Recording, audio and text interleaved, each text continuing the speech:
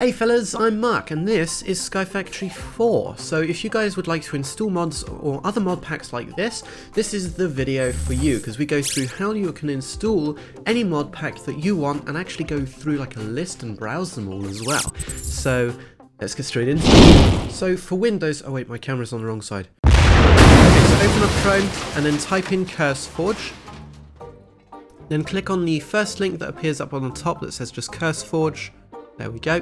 And uh, then on the top there should be CurseForge app. Oh wait, cookies. Uh, let's deny these. There we go. Now click on CurseForge app at the top. And then it will load up this thing with automatic uh, detection for your operating system. Just click on the Windows and it will install the file. Once the file has been installed, just double click on it and then it will say opening. Now, there was an administrative panel there that you didn't see, but just click continue or allow the application and then it will open up this CurseForge installer. Now there's a language selection, select your language and click next. And then afterwards click on create a desktop shortcut for CurseForge but do not click it for Overwolf. We won't need Overwolf as much as we'll need CurseForge. You can also choose the program place, click I've, I've accept the agreement, next, and click accept and install. There we go. And then it will install the application. There we go, once it's finished. Uh, it'll say CurseForge has and Overwolf has successfully been installed. It opens a browser. Just click on close on that. There we go. Then just open up CurseForge and it'll come up with this first time launch thing. And once it launches for the first time, it will do this weird thing and it will do an intro for the application. There we go. That's It's all entirely normal.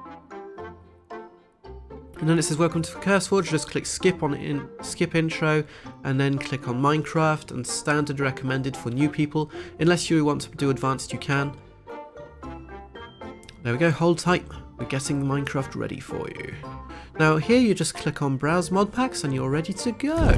So it's pretty simple now that you've installed uh, CurseForge, uh, you've got a browse mod packs up here if you've already got mod packs installed. Uh, you've got a create custom profile up here so you can create your own mod packs uh, if you want, which I have done right here. So let's just install a mod pack that already exists, shall we? Uh, it's pretty cool. Let's install Sky Factory 4. All you have to do is press the install button over here and you are done. Now, uh, once you're complete, if you've already got mod packs, uh, it will install the latest mod pack down here that you've installed. You can just click on play and it'll install all the mods for you and everything you need pretty easy, right? So here we are. I've got my custom Sky Factory right here. I actually customized it, so I've changed all the files for it. Don't worry that it doesn't look the same. It is the same, it's just I've added some config changes.